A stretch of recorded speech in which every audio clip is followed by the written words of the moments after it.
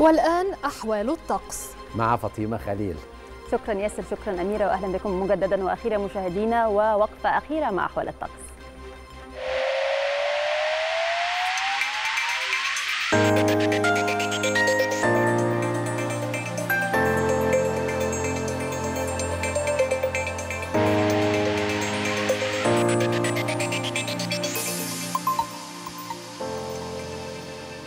يتوقع خبراء هيئة الأرصاد الجوية أن يسود البلاد غدا الأربعاء طقس حار رطب نهارا على القاهرة الكبرى والوجه البحري وشمال الصعيد مائل للحرارة رطب على السواحل الشمالية.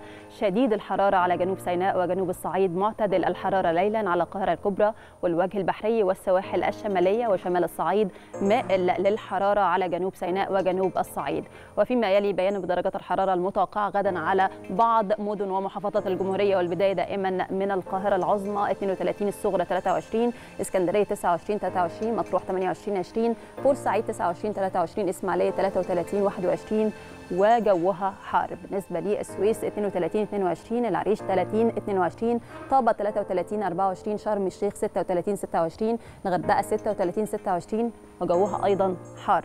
بالنسبة للأقصر 39 25 أسوان 41 26 الوادي الجديد 37 25 شلاتين 35 25 حلايب 32 26 وجوها أيضا حار. والآن نستعرض معكم درجات الحرارة المتوقعة غدا في عدد من العواصم والمدن العربية والعالمية.